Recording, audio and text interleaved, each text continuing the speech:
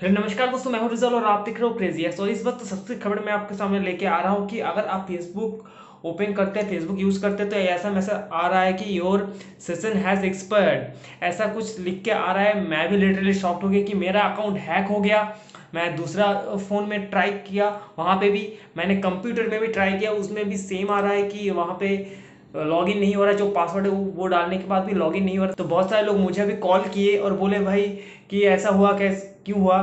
तो अभी तो पता नहीं, लेकिन मैं आपको एक चीज़ बताना चाहूँगा कि डरने की ज़रूरत नहीं है, सबके साथ हो रहा है। ऐसा नहीं कि सब, आप अकेले के साथ ही ये हो रहा है। तो इस फेसबुक का कोई ग्लिच है, कोई प्रॉब्लम है, शायद साइबर सर्वर का इशू है।